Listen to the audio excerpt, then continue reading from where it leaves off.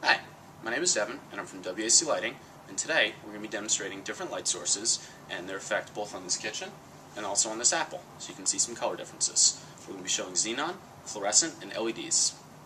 Here we can see an example of fluorescent light application against a backsplash and then also against an apple. Now fluorescent light is very, very efficient. Um, it also has a very, very long lamp life, although sometimes you can see the color rendering is not quite as good. Now here, can move over to a xenon application. You can see the color is much more pronounced, and the apple looks a lot more delicious.